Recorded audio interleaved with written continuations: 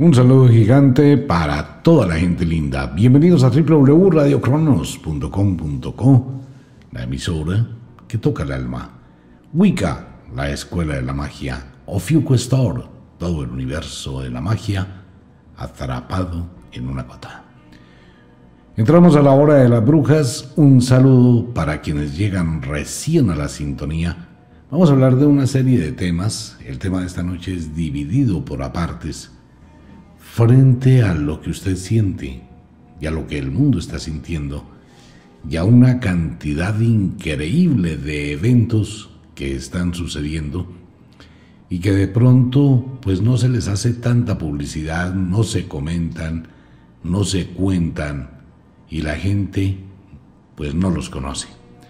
Tenemos el caso de los sonidos gigantescos que ocurrieron en Montreal, en Canadá, la explosión de satélites en el cielo, eventos cósmicos extraordinarios, la acumulación de energía de la Tierra, los enjambres de erupciones volcánicas subterráneas, la acumulación del magma, y estamos a punto, al borde de alguna situación dramática con la Tierra. Paralelamente, todo el mundo lleva su vida de una manera cotidiana a pesar de todos los eventos difíciles que han ocurrido. Pero se está produciendo algo increíble de lo que la gente no habla, y es lo que la gente siente. Percepción de algún tipo de acontecimiento extraño, sensaciones, algo no encaja en el diario vivir, algo no está como uno quisiera, a pesar de que uno vive todos los días, siente o percibe una serie de energías extraordinarias. Tanto es así que el efecto Mandela, que es bastante popular y ha entrado en choque con muchísimos psicólogos, neurólogos, psiquiatras, científicos, que tratan de identificar qué es lo que pasa en la mente, en el subconsciente colectivo. ¿Por qué todo el mundo recuerda un evento de determinada manera pero ahora sucede que ese evento no fue así. Y la cantidad de ejemplos es altísima, un listado muchísimo. No voy a nombrarlos a todos, pero le voy a dejar de tarea que busque en la red de internet ejemplos del efecto Mandela que van a probar sus recuerdos o la recordación. El efecto Mandela nace por lo siguiente. Cuando muere Nelson Mandela, mucha gente decía, venga, pero es que yo vi la transmisión del entierro de Nelson Mandela muchos años atrás. Y mucha gente así lo recuerda. Y mucha gente habla. Y así es con muchísimos temas. Uno de ellos que ha causado furor en el mundo. Y usted puede preguntarle a su papá, a su abuelo, a la gente que jugaba Monopolio. Si la imagen, el logotipo del Monopolio, donde está este señor corriendo el juego de Hágase Rico, tenía uno un monóculo en el ojo, un pequeño lente. Pues sucede que pasa algo muy curioso con ello. Y es que la gran mayoría de personas que en alguna ocasión jugaron Monopolio recuerdan que tenía un lente, pero en la realidad no. ¿De dónde salió el lente del juego de Monopolio? ¿Por qué todo el mundo lo recuerda y no es así? Por el lado de ello, existen millones de ejemplos como marcas de automóviles, logotipos de automóviles, figuras. Hay hasta un libro que todo el mundo recuerda, es un libro infantil, no recuerdo su nombre en este momento, que toda la gente lo leyó mil veces, pero sucede que no es real. Lo mismo del caso de ¿Usted recuerda qué fue lo que le preguntó la bruja al espejo? Espejito, espejito, ¿qué decía la bruja? ¿Quién es qué? Lo que todo el mundo recuerda es que la bruja decía quién es la más bella del reino. Pero sucede que eso no fue cierto. Entonces todas esas recordaciones falsas o esa cantidad de recuerdos falsos ¿Cómo es posible o probable que todo una cantidad de gente de determinada generación, de determinada época, tenga una recordación de un evento y todos estén equivocados. Hay una cantidad de cosas extraordinarias en el efecto Mandela. Paralelo con el efecto Mandela se presenta el fenómeno de déjà vu, que es el que hoy está viviendo muchísima gente en todo el mundo. Sentir la sensación de que todo esto que está pasando ya lo habíamos vivido, ya lo habíamos experimentado, ya habíamos vivido situaciones similares, el estar trabajando en la casa, estar en el hogar, eh, sentir familiaridad con los eventos que están ocurriendo. Es como sentir una aceptación extraña de lo que está pasando, que es el fenómeno de déjà. Si bien la película Matrix dejó un estigma, una marca en el subconsciente colectivo, al mostrar que es una falla de la Matrix, una reengaranaje, digamos, del sistema, pero mucha gente siente el fenómeno de déjà vu. Esto yo ya lo viví. Determinados eventos que le son muy familiares, el estar en una determinada casa, el estar en un determinado lugar, el estar haciendo una acción específica o vivir una experiencia que usted siente, venga, esto me, se me hace conocido. Las hipótesis de qué puede estar pasando son muchas. Puede ser un estado mental de alteración, puede ser un recuerdo falso colectivo, puede ser un evento que desconocemos y que haya ocurrido algún tipo de cambio que nosotros ignoramos. Es probable, claro, todo es probable en el mundo, todo es posible en este universo. Pero ahora bien, lo que está ocurriendo es la combinación de varios fenómenos, porque la ciencia no tiene ningún tipo de explicación para esto, y es como una sensación de, de letargia, de aceptación de muchas cosas, como si la mente ya no se sorprendiera por nada, eh, se produjo una erupción volcánica, un terremoto, pues sí, ¿qué le vamos a hacer? Están atracando en todas partes y matan a la gente, pues sí, ¿qué podemos hacer? Mire lo que está pasando con los gobiernos. Pues sí, ¿qué podemos hacer? Hay un estado de resignación o de apaciguamiento mental. ¿Qué puede ser? Pueden ser un millón de cosas, pero es lo que se está viviendo, lo que está actuando. Esta serie de fenomenología extraordinaria está afectando la vida de cada ser humano, está afectando los sueños, Muchísima gente desde hace aproximadamente un año, cuando empezó la pandemia, ha empezado a sufrir de tinnitus, pero es un tinnitus diferente. Es un rumor, un silbido, una sensación, un pitido. Ok, abramos la puerta al mundo de la especulación. Vamos a abrir la, la puerta al mundo de la especulación. La galaxia de la Vía Láctea el brazo Sagitario, donde nosotros nos encontramos y habitamos. Estamos acercándonos a algo que se conoce como el útero de la galaxia. El útero de la galaxia es una zona negra, sin estrellas. Es un lugar extraño. Los mayas hablaban de ello cuando sería el inicio del quinto sol, y ustedes recuerdan la cantidad de cosas que pasaron en el año 2012 con la profecía de los mayas. No es el fin del mundo, pero nos acercamos a un abismo cósmico. Recibimos radiaciones cósmicas muy fuertes. Estamos entrando a un lugar bastante extraño en el espacio. Esto es en la realidad. La galaxia gira sobre sí misma y nosotros, en el brazo donde nos encontramos, vivimos a las afueras de la galaxia, en los suburbios de la galaxia a lo lejos, en la lejanía, está nuestro sistema solar, casi, casi en el límite del hiperespacio. Y la galaxia va a pasar o está atravesando por el útero de la galaxia.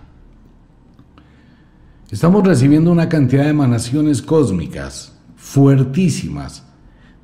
Todo el mundo las percibe, cada ser humano las percibe, cada planta las percibe, cada animal las percibe Y estamos empezando a mirar a través de los videos y a través de las redes sociales una cantidad de eventos, pero no los identificamos.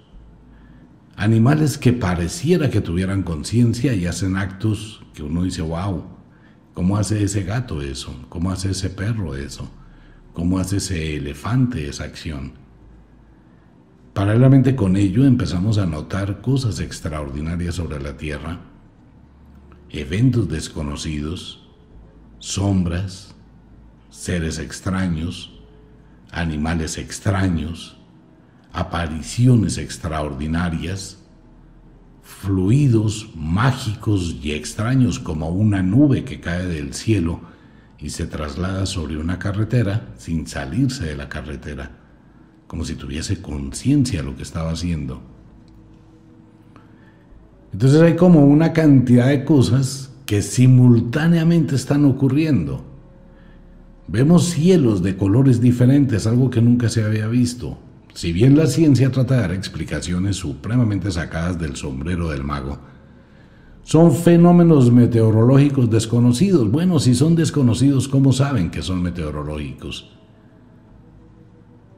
Y siguen pasando esos eventos. En diferentes lugares del mundo se escuchan ruidos que vienen desde el fondo de la tierra, como si algo taladrara abajo luces extrañas como lo que acaba de pasar esta semana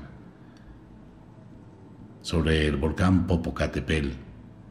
Una burbuja, vamos a suponer que era una burbuja de gas que ascendió y explotó en el cielo. Ok, vamos a suponer que eso es cierto. Que era una burbuja de gas gigantesca. Pero la gente que estaba apreciando la burbuja se da cuenta que más que una burbuja parece un, una puerta estelar algo se abre del cosmos, algo se abre del cielo y pareciera que explotara. Ok, eso fue el 26 creo de marzo. 28 de marzo, un objeto cilíndrico está ingresando derechito, viene del cielo, está descendiendo al cráter del volcán. Pero ¿qué pasa? La grabación que aparece, el objeto explota antes de entrar al volcán, en el Popocatépetl. Una cantidad de luces extrañas alrededor del volcán, una cantidad de luces extrañas en todo el planeta Tierra y sensaciones extraordinarias que está viviendo la gente y que están percibiendo los niños, las mascotas, los animales, las plantas. Hay personas que se levantan y ven sus plantas completamente achiladas, casi que marchitas, y hacia las horas de la tarde vuelven a crecer y se abren.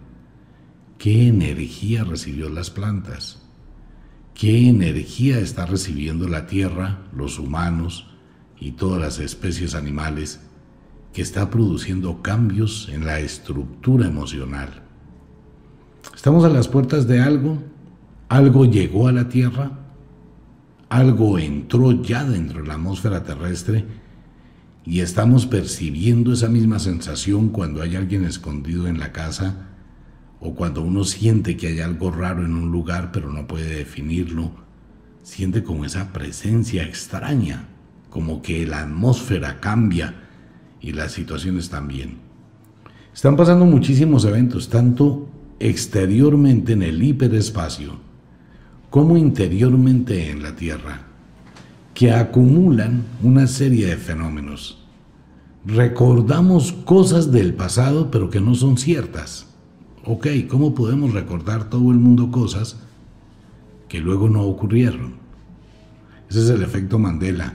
Vale la pena que usted se inquiete un poquito por el efecto Mandela y empiece a buscar la cantidad de ejemplos y se va a llevar una sorpresa. ¿Por qué se va a llevar una sorpresa? Porque en su recordación, en lo que usted recuerda, usted puede asegurar que lo que recuerda es otra cosa a lo que le están diciendo hoy que es mentira. O sea que usted tiene un recuerdo que no es real. ¿Cómo obtuvo ese recuerdo que no es real? ¿Y quién dice que lo real es lo que le dicen hoy porque es lo que hay? hasta canciones que usted se sabe de memoria, no son reales. ¿Cómo es posible eso? ¿Cómo es posible que mucha gente recuerde canciones que no existen? Se produjo un salto dimensional. Estamos viviendo una dirección diferente y en algún momento algo cambió, una experiencia, un experimento o algún tipo de evento cósmico. Hay un evento físico real donde la Tierra fue movida durante dos horas y la gente no lo sabe. Todo el planeta Tierra fue movido. En las secuencias magnéticas de la Tierra se encuentra el punto. Voy a decirle a Mario si nos ayuda a buscar el punto exacto donde eso ocurrió y lo compartimos en Facebook cuando la Tierra fue movida para evitar una llamarada solar. Tendríamos que abrir la puerta a muchísimas cosas. Esto, el mundo, la Tierra es una experiencia eh, holográfica que puede cambiar, que puede transformarse. Estamos encarnados, pero ¿qué pasa si nuestro espíritu está libre del cuerpo? Vamos a afrontar una realidad totalmente distinta sin la posibilidad de volver a ingresar a este mundo para exponer que la realidad que se está viendo fuera del cuerpo es diferente a la realidad física que creemos que es lo real. Vamos a suponer un ejemplo tonto.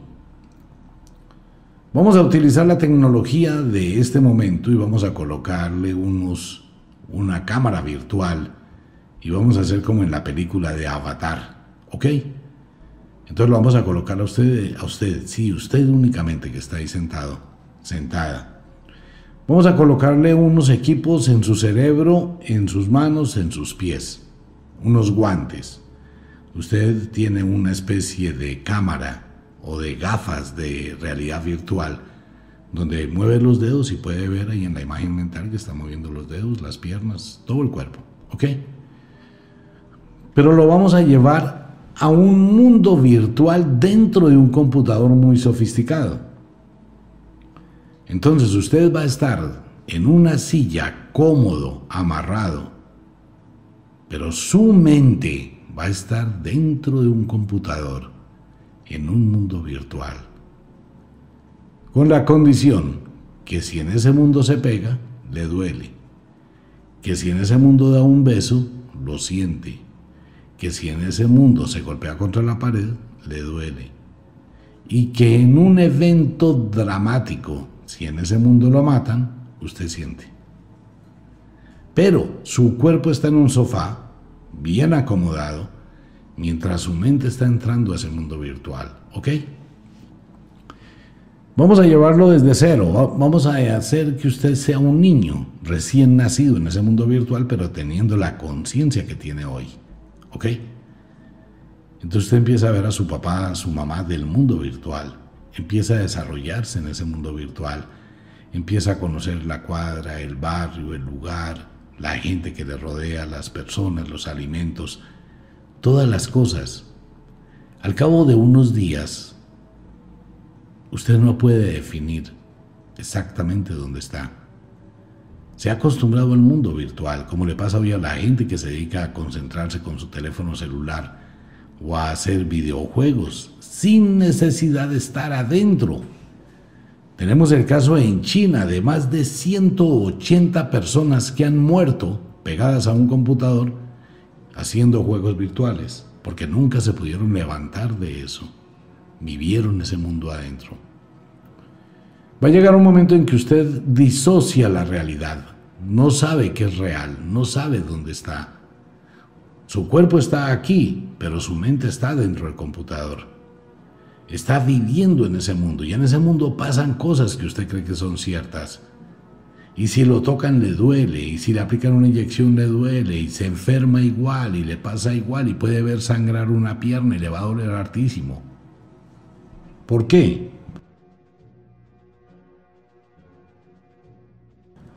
Recordemos algo que dicen mis amigos de allá arriba cuando exponen ese conocimiento. Hagamos un alto en el mundo virtual y expliquemos algo. Ya lo hemos expuesto muchísimas veces para quienes están ahora en sintonía. Volvemos a repetirlo. Amigo mío, usted jura, reza, eh, y dice que este mundo es real, ¿ok? Y todo el mundo lo dice. Quiero que me preste atención tan solo 10 segundos. Voy a mirar su cuerpo y quiero por favor que sea consciente de su cuerpo.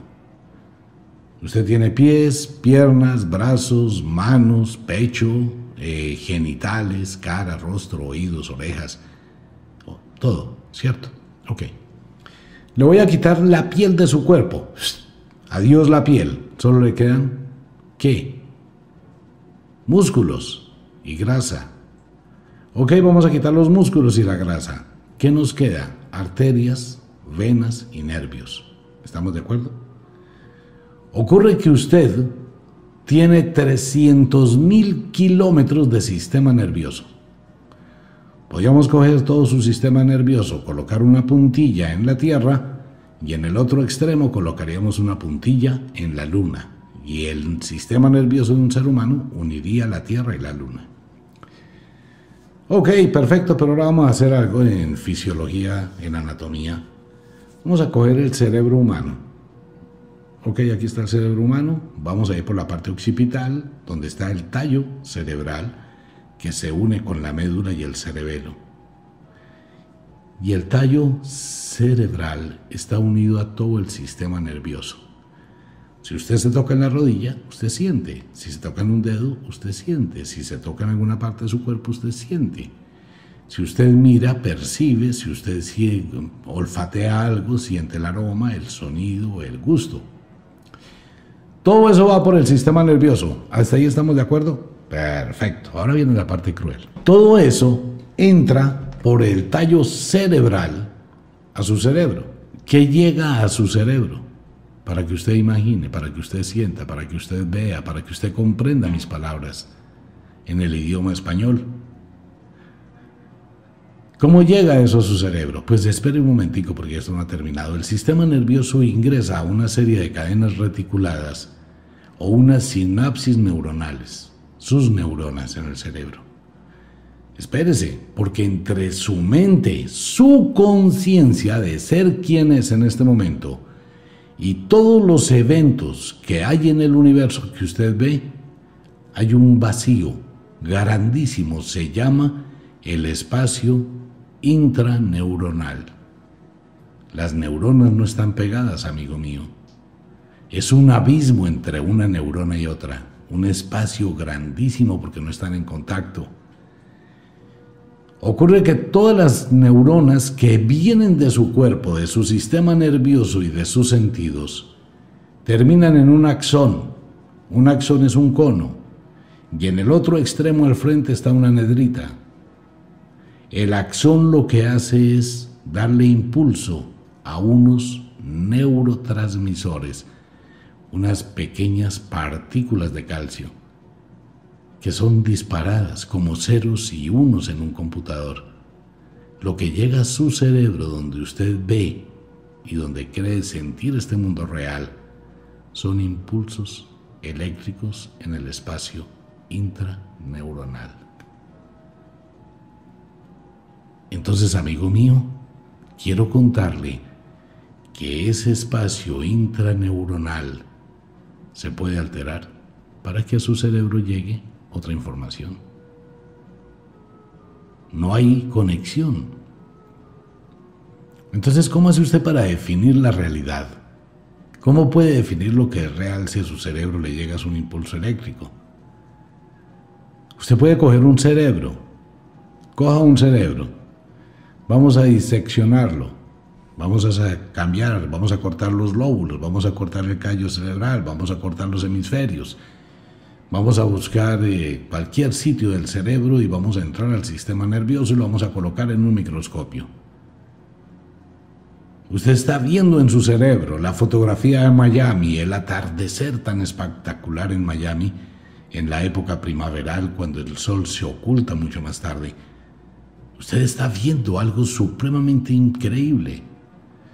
Pero lo que vemos es que las neuronas brillan lanzando impulsos eléctricos de fina imagen, de fina conciencia, de fina realidad. No puede definir realidad porque lo que llega a su cerebro solo es un neurotransmisor que le hace creer algo que no es cierto. Entonces estamos viviendo en ese mundo virtual dentro del computador, donde usted supone que está viviendo una realidad porque siente lo que está pasando en ese mundo. Y porque usted siente, ve, oye, saborea, da por hecho algo que no es cierto. Ok, usted estando dentro de ese mundo, alguien le dice, venga, pero ¿por qué se preocupa si su verdadera esencia está por allá en otro lado, en un sofá? Pero sucede que usted se enamoró de otra persona dentro de ese mundo virtual y como que ya tiene dudas de la realidad objetiva y está viviendo una realidad subjetiva. Entonces usted dice, no, pero ¿cómo así que yo vivo en otro mundo?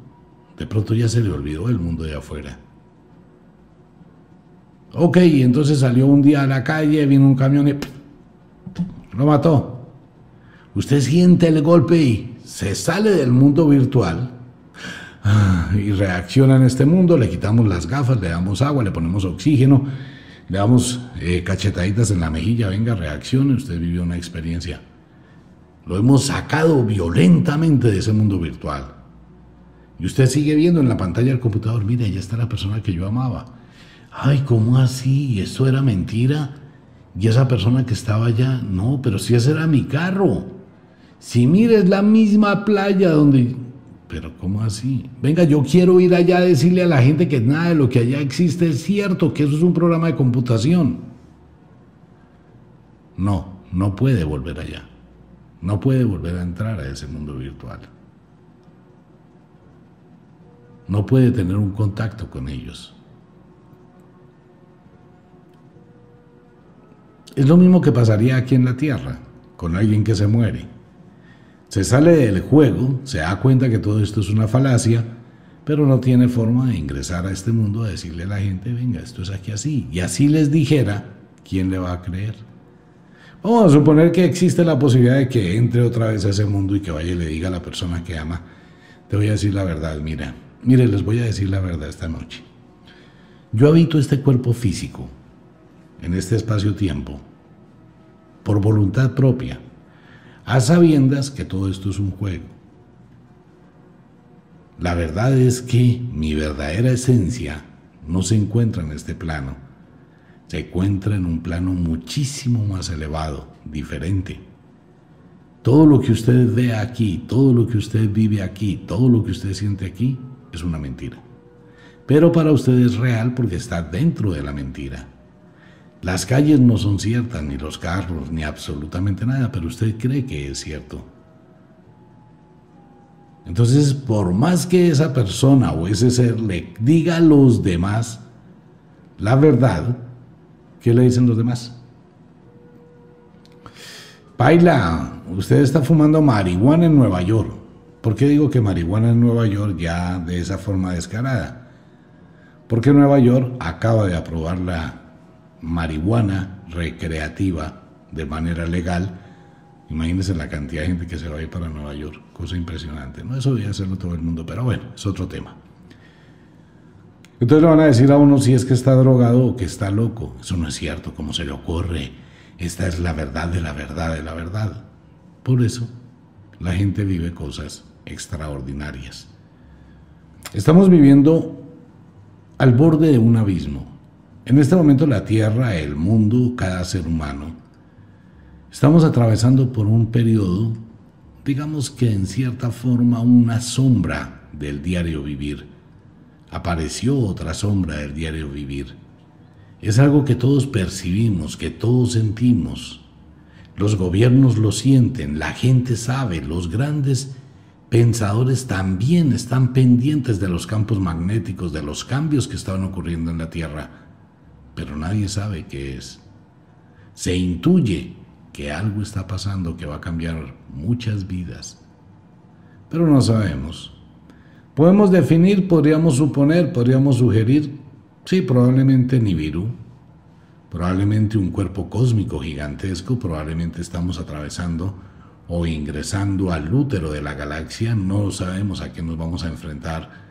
Pueden producirse una cantidad de cambios impresionantes, bien hacia el crecimiento, bien hacia la destrucción, pero las señales están aumentando cada día. El viernes en las horas de la tarde puede ocurrir un terremoto, una erupción volcánica, puede ocurrir una tragedia y la gente va a asociar que eso es castigo divino por asociación. La semana entrante podemos levantarnos y encontrarnos con realidades nunca imaginadas. Podemos empezar a ver cosas, a sentir cosas. En su habitación en las horas de la madrugada, puede sentir presencias extrañas que atraviesan de forma mágica a través de las paredes. Por eso es que he molestado mucho últimamente porque usted tenga en su casa una cámara de video en la sala, una cámara de video en el cuarto de sus chiquitos, una cámara de video en su cuarto. No se preocupe, si va a tener sexo, desconéctela o apáguela mientras tiene sexo y si no, la prendida y después se mira con su pareja cómo tienen sexo.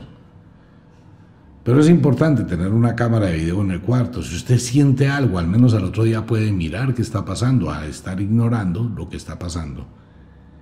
Es preferible saber que hay una sombra detrás de la cortina que se mueve por la noche o algo que sale de atrás de su cama o de pronto algo que emerge desde abajo, sube y atraviesa y llega al techo. Es prudente saber. Es mejor saber que no saber es mejor conocer.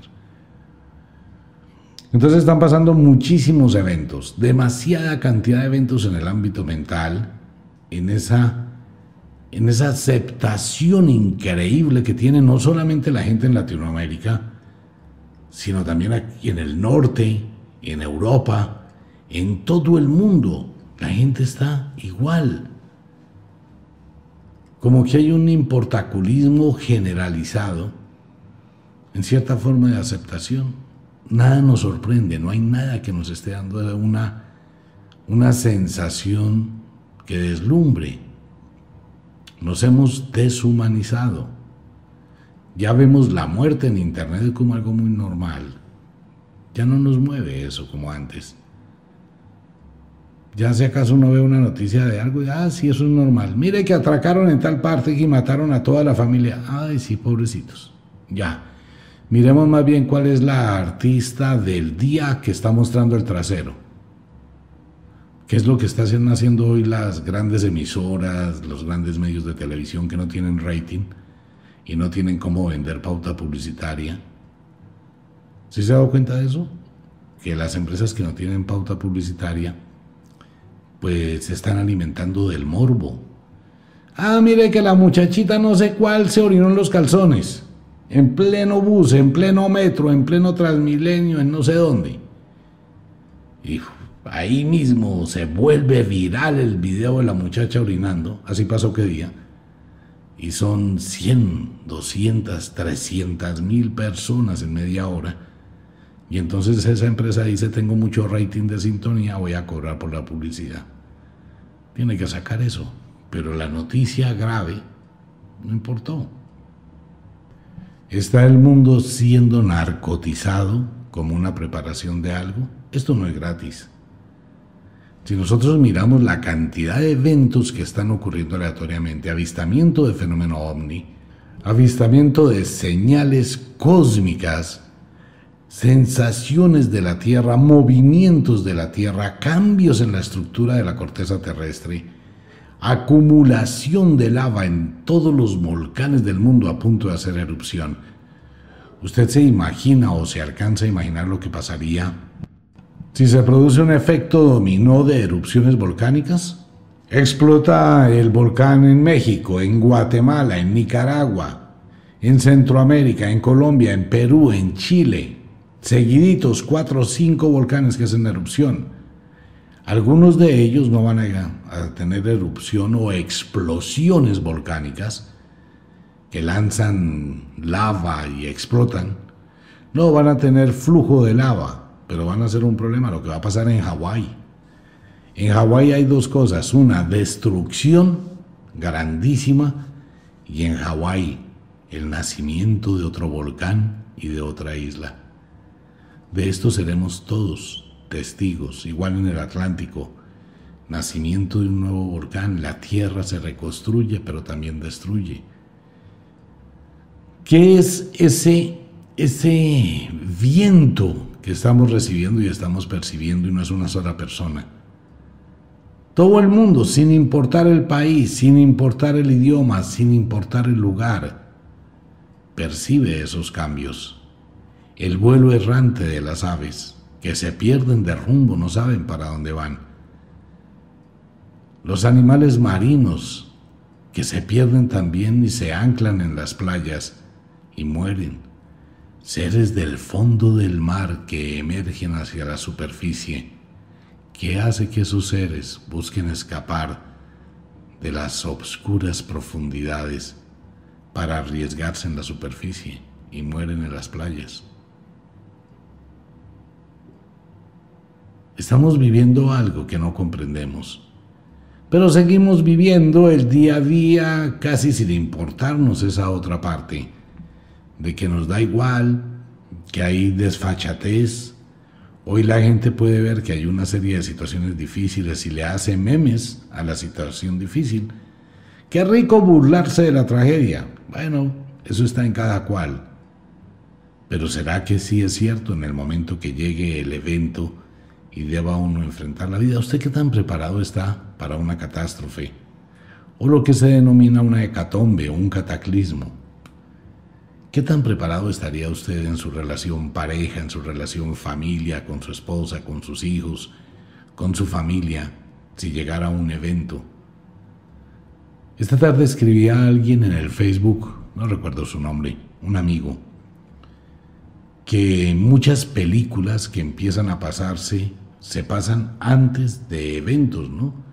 Hollywood parece que tuviese un oráculo, igual que los Simpson, y empezaron a mostrar diferentes situaciones que después se convierten en realidad, o se convierten en el efecto Mandela, o se convierten en un déjà vu. Todo eso simultáneamente al tiempo.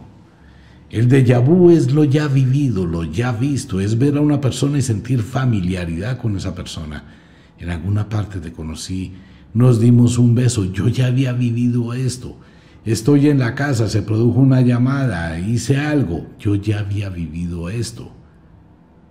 Fui a un lugar, este lugar yo lo conozco, me es familiar, es un evento que conozco, es un recuerdo que tengo, aunque no puedo definir.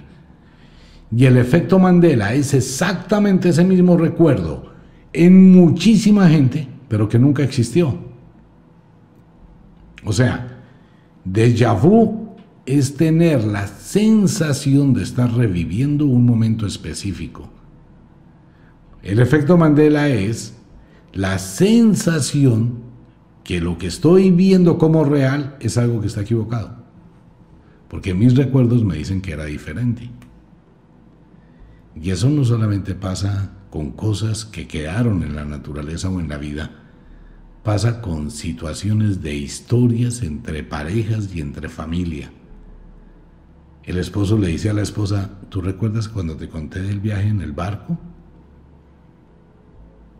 ¿Cuál barco? Tú nunca me contaste ningún viaje. Mira, estábamos en tal parte, estábamos cenando. ¿Nosotros fuimos a cenar a ese sitio?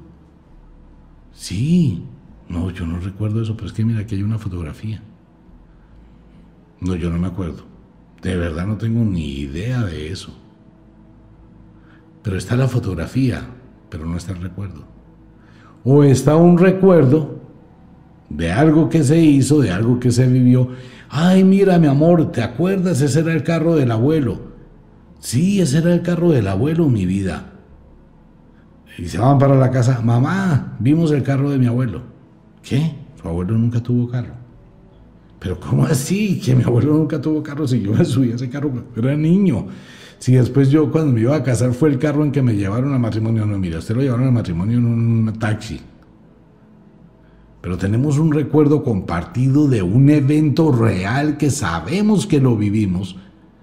Pero el mundo nos dice hoy que nuestro recuerdo, que esa información que yo tengo de una vivencia, Es mentira. Entonces, ¿cómo tiene todo el mundo un recuerdo falso? Eso tiene que ver, mire, hay muchísimas cosas del efecto Mandela, pero son muchísimas, hay como unas 10 mil, 20 mil cosas que la gente ha ido descubriendo y le muestran, mire, esta es la realidad, no, eso no es real, mi recuerdo es este, este es el recuerdo que yo tengo y la gente dice, ese es el mismo recuerdo que yo tengo. Y los demás dicen, es el mismo recuerdo que yo tengo. Bueno, y entonces, ¿por qué diablos le dicen a todo ese mundo que está loco? Y que ese es un recuerdo falso porque la realidad es esta. Y los psiquiatras, psicólogos y una cantidad de gente sale a decir que es una confusión de tanto recordar o tanto pensar o tanto tener una información, pero es que eso no es algo del diario vivir. Es un recuerdo, punto. Pero ahora, ¿por qué me dicen que mi recuerdo está equivocado? Efecto Mandela. ¿Por qué efecto Mandela? Porque mucha gente recuerda el entierro de Mandela, el funeral de Mandela que fue transmitido por televisión, pero nunca pasó. Igual lo de Marilyn Monroe y muchísimos más. No me voy a poner a nombrarle todos los que hay. Igual el de Mickey Mouse, el de Batman, el de Superman. Mucha gente recuerda a Ripio, el de la Guerra de las Galaxias. ¿Usted cómo lo recuerda? Usted recuerda, a ver, la, pregunta es esta, ¿es dorado o no es dorado? ¿Usted cómo recuerda a Ripio? El, el robot compañero del otro. ¿Usted lo recuerda dorado, sí o no? Ah, bueno, está equivocado porque no es dorado. ¿Qué? Bueno, eso es el efecto Mandela. Todo el mundo recuerda el robot de una forma y la realidad ahora, esta nueva realidad, es otra. ¿Nos pudieron cambiar la realidad? Sí. Nos pudieron cambiar la realidad. ¿Quiénes? No lo puedo decir, no sé, no existiría una forma de explicar por qué se haya producido una mutación en la realidad, un cambio en la realidad. ¿Cómo hacemos para saber? Aparecen monedas de unos años en el futuro que son de otro tipo de economías en el mundo diferentes a las que hay aparecen objetos, cosas. Mucha gente dice que eso es fake, que eso es mentira, que eso es falso. Pero no, amigo mío, a usted no le van a contar lo que encontraron en las tumbas, en las pirámides de Siria. En Siria se encontraron tres pirámides debajo de la tierra, más grandes que la de Tutankamón en Egipto, que están llenas de una tecnología totalmente desconocida por eso es la pelea por Siria, en este momento el único lugar del Medio Oriente que tiene salida al mar. Hay que estudiar, hay que leer la historia, lo que pasa con la puerta estelar de Afganistán, donde efectivamente existía un portal a otros universos y fue descubierto en Afganistán el portal secreto de Bolivia los portales secretos, no el portal, sino los portales secretos en Cauca, en Colombia, en San Agustín, en Colombia, que han sido ocultos, igual en la Amazonía colombiana. Hay portales, hay cosas en el cielo. Y si mis amigos de allá arriba y la comunicación con ellos fue acertada, directa, bueno, pues este es un programa para que los próximos días esté atento con la cantidad de señales que van a empezar a aparecer y van a seguir apareciendo. Al menos ya tiene una idea que algo está pasando, ¿no? Cuando vea en internet, mire, la gente que se toma el trabajo de hacer un video en YouTube y subir una información, una imagen, dele un poquito de opción a que es real. No todo el mundo está haciendo trucaje o falsea algo.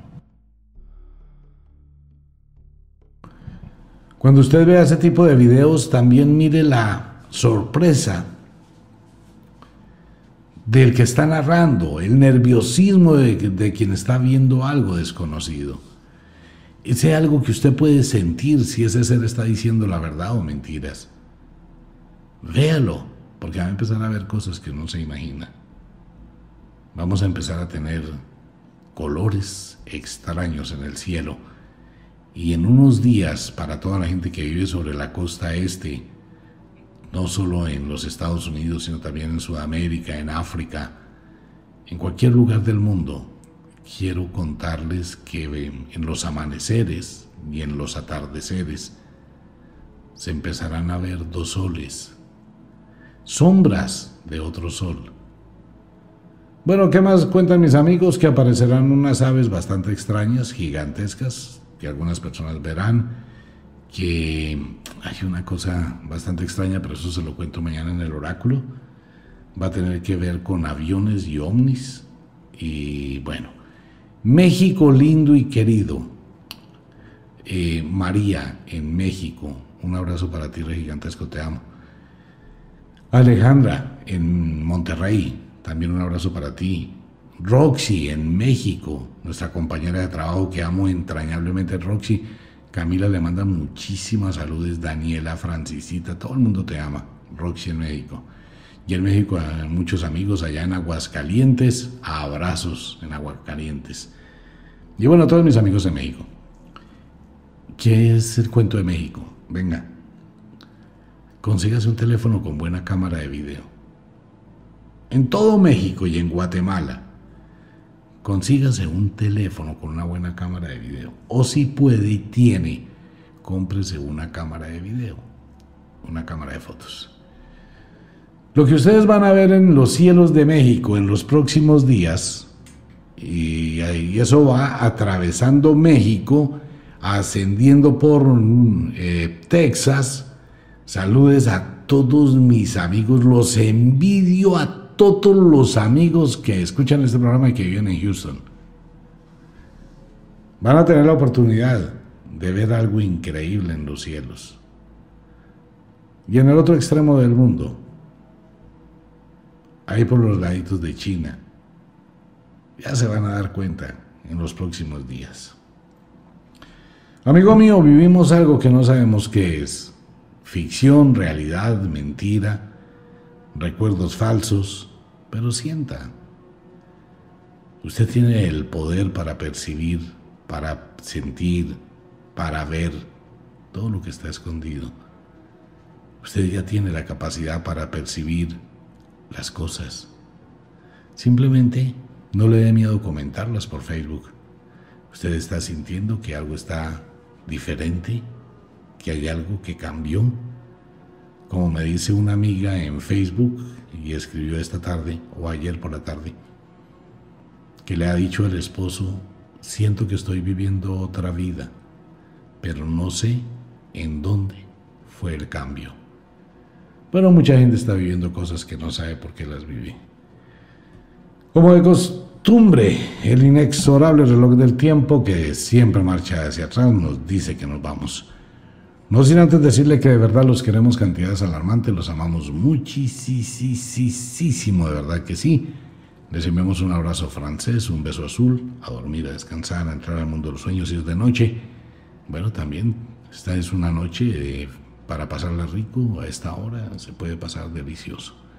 Si es de día, pues a trabajar, a ganarse el día o a descansar o lo que usted quiera. Y para mucha gente le recuerdo que en Ofiuco en este momento están los azabaches para los niños, que son unas contras, que bien vale la pena. Azabaches para niños, los que hacía la abuela, y para las niñas, el ojo turco para quitar el mal de ojo. Eso es un Ofiuco Store. Mario, nuestro control allá en la ciudad de Bogotá que se trasnocha. Mario, un abrazo. Nos vemos y un abrazo para todo el mundo. Chao. Oh.